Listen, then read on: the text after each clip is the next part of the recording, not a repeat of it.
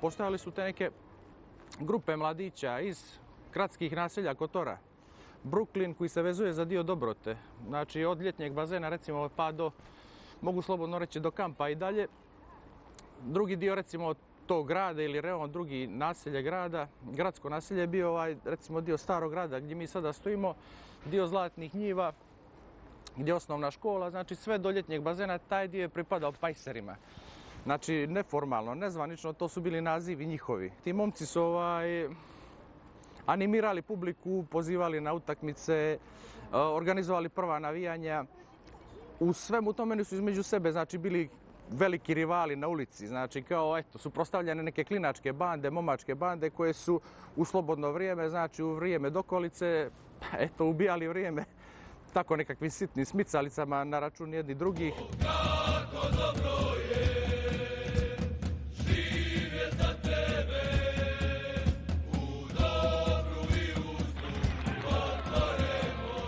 Jedna od priča koju sam ja čuo iz prve ruke, što bi se reklo od tih prvih generacija, od najstarijih navijača, je da je legendarni naš pokojni Marko Franović zvan Jojla, da on smislio to ime i da je on bio u principu taj kum našega imena.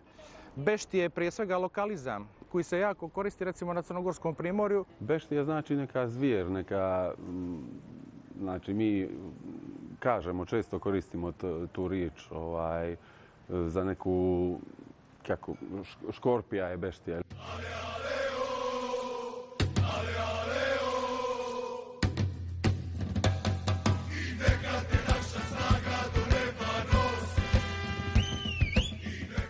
Svako od nas podjednako voli ta oba kluba i tu nema neke razlike. Jedino što smo aktivniji bili sticajem okolnosti uz veće sportske uspjehe, možda smo se i mi više proslavili kao navijačka grupa uz vaterpolo klub nego uz futbalski klub.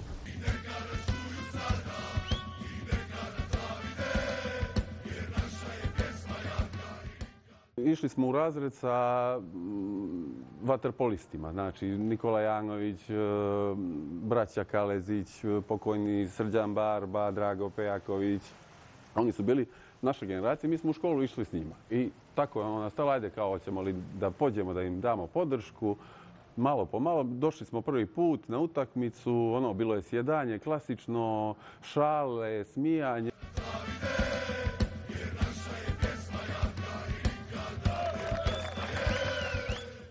Kasnije sve to uzelo ozbiljnijeg maha, počele su se snimati navijačke pjesme sa ozbiljnim aranžmanima, ozbiljnim tekstovima, ljudi su se posvetili tome, naravno sve to evoluiralo kasnije. A u tom samom startu mislim da je bilo više možda i emocije i pravi iskrene ljubavi. I mislim da je to nešto što je najinteresantnije iz tog perioda bilo.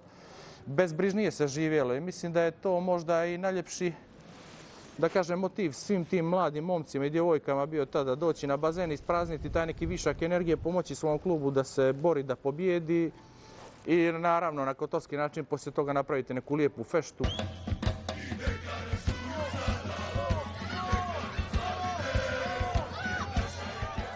Prva moja navijačka utakmica je bila 1993. sjećam se dobro, ljetnji bazen, tada čuvena ljetnja vaterpolo liga, derbi Primorac Pima, prepun bazen, fenomenalno navijanje. Mi kao klinci danima spremamo ručno rađene baklje. Mi smo se kao klinci dovijali da preskočimo ogradu, da se provučemo kroz rupe na ogradi, jer faktički do karte se nije moglo doći i nije se moglo regularno ući na bazen.